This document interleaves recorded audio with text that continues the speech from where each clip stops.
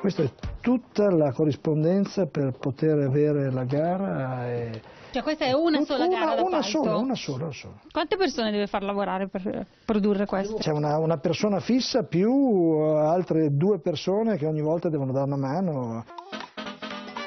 E pensare che qui lavorano praticamente solo per la pubblica amministrazione, fanno software per gli ospedali, ma dopo che hai ottenuto la gara d'appalto e fatto il lavoro, ricominciano i guai, perché per fatturare per la pubblica amministrazione bisogna fare la fattura elettronica, che non è una semplice fattura che si manda via mail. Non è semplicemente una fattura che invio via mail. Questo è il manuale di istruzioni per compilare la fattura elettronica, 135 pagine. Solo per l'intestazione 37 e poi dobbiamo ancora iniziare. Codice EORI, che se scartabelli un po' viene fuori che non è obbligatorio, codice IPA, si trova su un sito internet, codice CUP, che non è dove si prenotano gli esami del sangue, e codice CIG, che non è cassa integrazione guadagni, no, è un'altra cosa. E non è semplice neanche per gli addetti ai lavori. Un paio d'ore un professionista, magari che è abituato a comporre, a compilare fatture, ce le mette la prima volta.